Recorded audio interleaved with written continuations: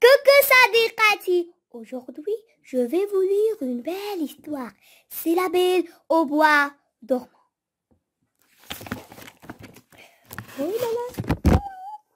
Un roi et une reine désiraient un enfant depuis de nombreuses années. Une nuit, enfin une petite fille est née. C'est la princesse Aurore. Oh là là, c'est très bien. Le jour de son baptême, toutes les fées du royaume étaient invitées. Chaque fée offre un don à la petite Aurore. Tu seras belle comme le jour. Tu chanteras comme un oiseau. Tu seras très intelligente. Ce sont les dons des fées. Oh, les fées sont très bien. Ils sont gentilles et magnifiques et fantastiques. La plus jeune fée va parler. Quand soudain la porte s'ouvre, une vieille femme entre, elle ricane. Ha ha ha! Moi aussi j'ai un cadeau pour votre fille.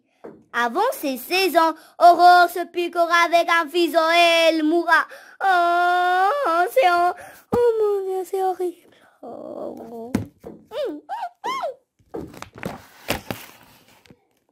Heureusement, la jeune fille a pu modifier le mauvais sort. Non, Aurore ne mourra pas et s'endormira jusqu'à ce qu'un prince vienne la réveiller. Mais le roi, très inquiet, fait ordonner à tous ses sujets de jeter à feu les couilles, les fuseaux, les rouets, avec laquelle sa fille Aurore pourrait se blesser. Voilà, c'est bien. Le temps passe. Aurore grimpe au sommet de la plus haute tour du château. Elle découvre une vieille femme assise devant un drôle d'objet. Que faites-vous donc? demande Aurore. Je file la laine, répond la vieille femme. Oh non, non, non, non, ne touche pas Aurore, ne touche pas Étonnée, Aurore tend la main vers le fuseau. Elle s'épique le doigt. Oui. Et la vieille femme se met à crier au secours. En entendant les cris, le roi et la reine se précipitent vers le tour, mais il a déjà trop tard. Malheureusement. Hum. Hum. La prédiction de l'horrible fée Carabosse s'est réalisée. La vieille femme qui vivait dans ces tours n'avait jamais entendu parler. C'est pourquoi elle a utilisé encore son fuseau. Alors le roi et la reine ont tristement leur fils sur son lit.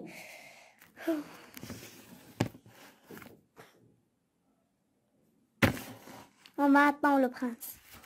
En même instant, la jeune fée dit, cela peut durer cent ans. Il vaut mieux endormir tous les habitants et les animaux du château. Elle lève sa baguette magique, prononce une formule magique.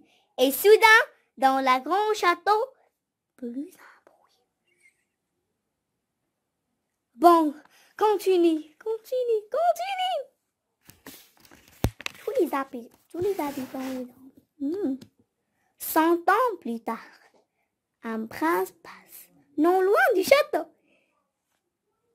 Il demande ce palais et l'abandonner peut être répondu de ses gardes, mais on raconte qu'une princesse dort depuis des années. Oui, oui, oui, enfin Intrigué, le prince entre sur le château. À l'intérieur, il découvre une belle princesse dormie, si belle qu'il peut s'empêcher de l'embrasser. Alors Aurore ouvre enfin les yeux. Des lendemain, et s'est mariée et vécurent des très heureux. Enfin, c'est très bien. Yes! Voilà, j'ai terminé. Il a.